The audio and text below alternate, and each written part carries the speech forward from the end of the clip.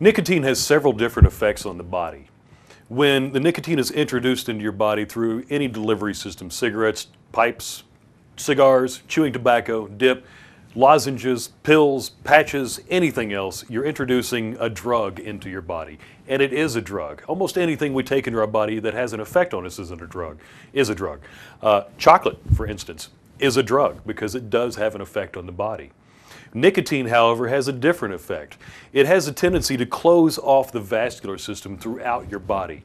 Within a few minutes of smoking a cigarette, your, your, your vascular system, the capillaries, the veins in your body begin to shut down, to close down, which constricts things. It closes off the blood flow to your muscles, which makes your heart have to work harder.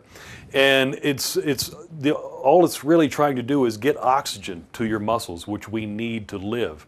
And after you smoke a cigarette or introduce nicotine into your system in some way, it causes actually the same effect on the body as fear because those the, the, your, your vascular system is beginning to shut down. You're losing that oxygen to the rest of your body. And the body really just wants to replace that oxygen. You're going to find your heart rate beginning to go up. You're going to find your lungs are going to begin to close down a little bit and feel a little bit stressed out just because of that nicotine and the fact that it is taking the oxygen away from the body.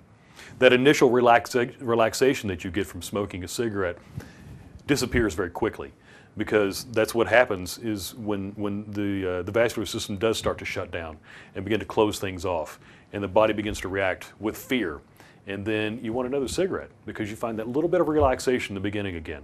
And then all of a sudden you find yourself caught in a cycle of going over and over, relaxing and stressing, relaxing and stressing, relaxing and stressing, and just wanting another cigarette just so you can find that little bit of relaxation again.